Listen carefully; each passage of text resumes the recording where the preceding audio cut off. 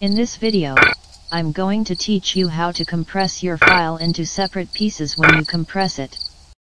For example, I have a file of 341 MB that I plan to compress into 4 separate parts and I want the size of each part to be no more than 100 MB, so if I want to do this, the output of my work will be like this.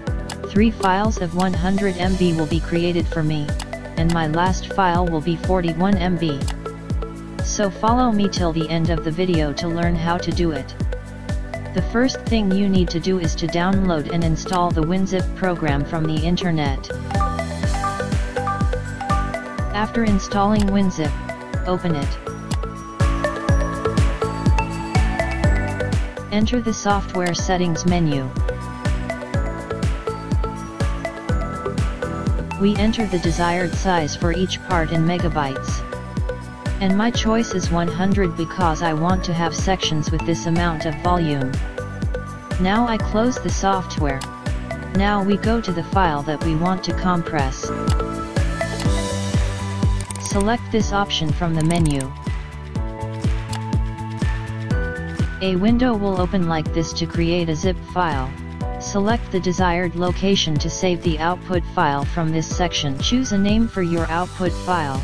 Choose one of these two options for the compression mode, which I choose because it is the best possible mode.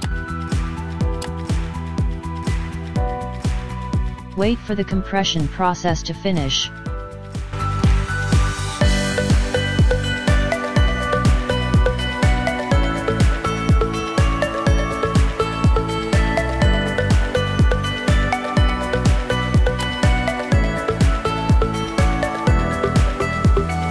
I will move the created files into a new folder to check them.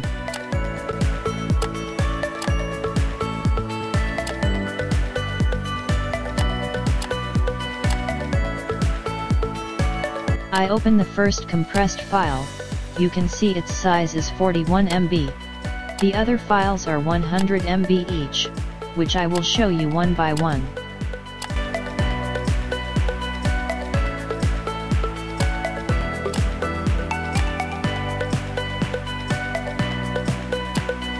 Now I am going to extract these compressed files, it is enough to right click on this file whose icon is like this and select the extract option, so there must be other files next to it, otherwise the operation will encounter an error because these four zipped parts are interdependent and deleting one of them can cause an error, so be careful my dears.